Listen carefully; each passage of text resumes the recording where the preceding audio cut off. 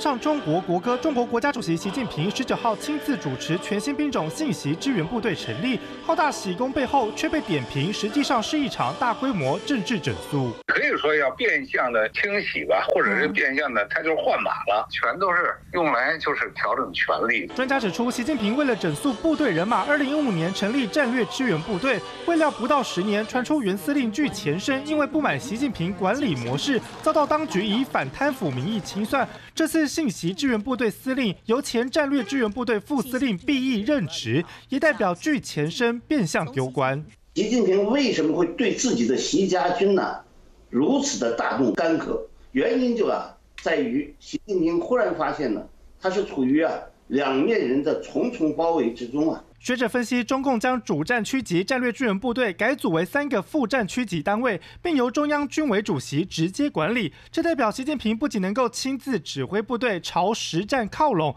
也能够同时监控下属忠诚度。要坚决听党指挥，确保部队绝对忠诚、绝对纯洁、绝对可靠。忠诚、纯洁、可靠。习近平字字句句透露集权野心。虽然简化原战略支援部队职责，但华丽浮夸的辞藻背后，实际功用为何？外界仍如雾里看花。信息支援部队是全新打造的战略性兵种，是统筹网络信息体系建设运用的。